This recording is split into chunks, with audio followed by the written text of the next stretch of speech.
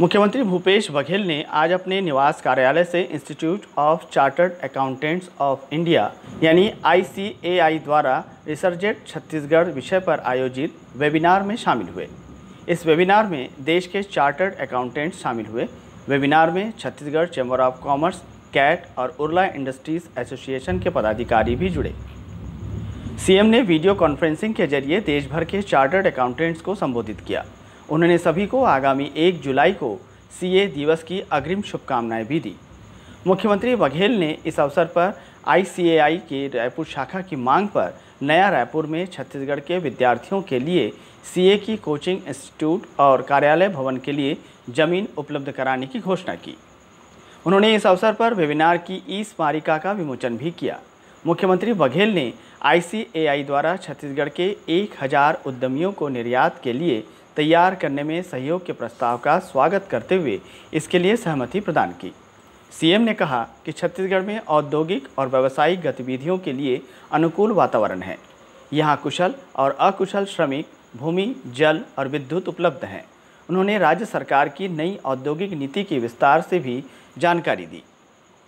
मुख्यमंत्री ने कहा कि पिछले साल हमारा ये अनुभव रहा कि किसान वनवासियों की जेब में पैसा डालने से छत्तीसगढ़ वैश्विक मंदी से अछूता रहा है। मुख्यमंत्री बघेल ने कहा कि यदि आईसीएआई वनोपज के प्रसंस्करण के लिए निवेश छत्तीसगढ़ में लाने की पहल करते हैं तो इससे प्रदेश के उत्पादकों, संग्राहकों को लाभ मिलेगा। इसका निर्यात अन्य हिस्सों में करने से वहाँ की आवश्यकता की पूर्ति भी होगी। छत्तीसगढ़ सरकार ने निर्णय लिया है कि कोई कंपनी यदि अपने क्वालिटी के हिसाब से कोई निर्माण हमारे स्व सहायता समूहों के माध्यम से कराना चाहते हैं तो वो उसके लिए हम स्वागत करते हैं। और ऐसे दो तीन कंपनियाँ हैं, विदेश की भी कंपनी है, जिसको हम यहाँ के स्व सहायता समूह को ऑर्डर दिए हैं और वो निर्माण कर रहे हैं और एक्सपोर्ट भी कर रहे हैं। तो उसी प्रकार से हमारे यहाँ आज जब हम इंडस्ट्रियल इंडस्ट्रियल पार्क की बात करते हैं तो ज़मीन की बहुत सारी शिकायतें आती है। अब तो हम गाँव गाँव में इंडस्ट्रियल पार्क बना रहे हैं जिसका लाभ आप उठा सकते हैं और आपके जो औद्योगिक उद्योगपति साथी हैं, यदि वो चाहते हैं तो ट्रेनिंग भी दे दें, उसको ट्रेनिंग की व्यवस्था हम करवा देंगे। और जो गुणवत्ता के सामग्री निर्माण कराना चाहते हैं, वो करा सकते हैं, उसके भुगतान हमारे, मजदूरी के भुगतान हमारे लोगों को कर दे, एक निश्चित लाभांश उनको दे दे, और उसके बाद अपना लेबर लगा के बेच भी सकते हैं। हमने अपने प्रदेश के विभिन्न ब्लॉकों को A B C D grade में हमने तय किया है। अलग अलग ब्लॉकों में जहाँ कोई उद्योग नहीं लगा है, हम वहाँ ज़्यादा छूट देंगे।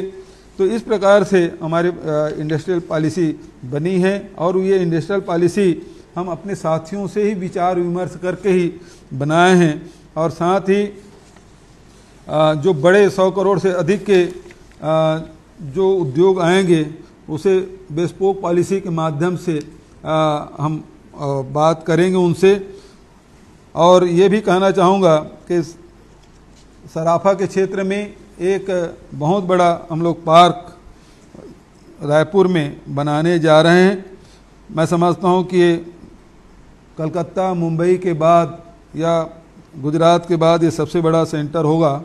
तो इस इस दिशा में भी हम लोग आगे बढ़े हैं। निश्चित रूप से ज़मीन उपलब्ध कराई जाएगी, एक कोचिंग सेंटर बनाया जाएगा जिसमें रहने की भी व्यवस्था हो, यहाँ के बच्चों को अवसर मिले।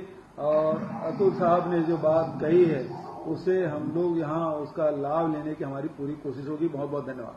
आईसीआई के राष्ट्रीय अध्यक्ष अतुल गुप्ता ने कहा कि उनका संगठन राज्य सरकार को हर सहयोग देने के लिए तैयार है। उन्होंने नगरीय निकायों में नए रेवेन्यू जनरेट करने में सहयोग करने, पंचायतों के मैनेजमेंट स्नातक के बाद छात्रों को सीए के मार्गदर्शन में तीन साल का गहन प्रशिक्षण जैसे कार्य संचालित करने में राज्य सरकार के साथ सहयोग का प्रस्ताव दिया। Bureau report, Desh TV.